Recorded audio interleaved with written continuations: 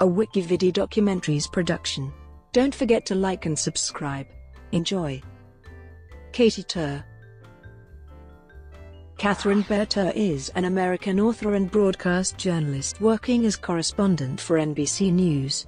Tur is an anchor for MSNBC Live and has reported for the NBC News platforms Early Today, Today, NBC Nightly News, Meet the Press, WNBC TV, MSNBC, and The Weather Channel. Early life Tur is the daughter of journalist Hannah Zoe Tur and Marika Gerrard. She graduated from Brentwood School and from the University of California, Santa Barbara with a Bachelor of Arts in Philosophy. Career Tur reported for KTLA, HD News slash Cablevision, News 12 Brooklyn, Rivers Depicts TV, and Fox 5 New York.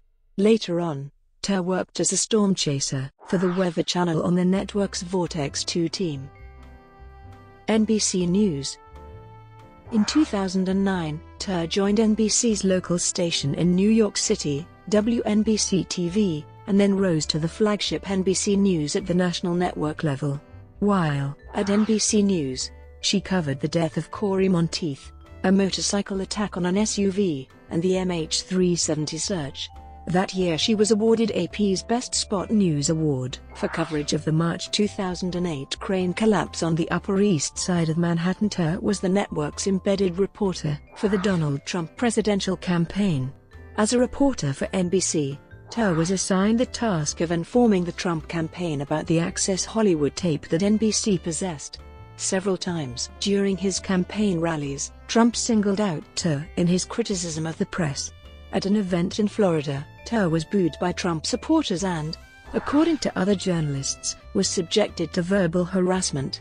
According to Trump campaign manager Kellyanne Conway, Trump didn't mean it in any malicious way, and he did not want anyone to attack or harass her.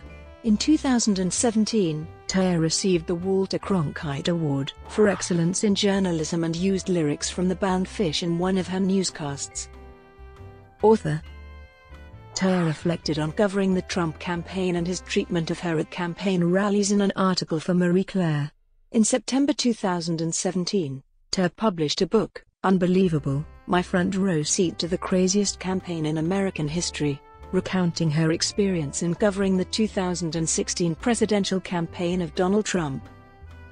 Personal life From 2006 to 2009, she dated then MSNBC political commentator and sportscaster Keith Olbermann. Tur married Tony Dokoupil, a correspondent for CBS News, on October 27, 2017 in Utah. Tur is fluent in Spanish. Brought to you by Wikividi Documentaries. Would you like to know more?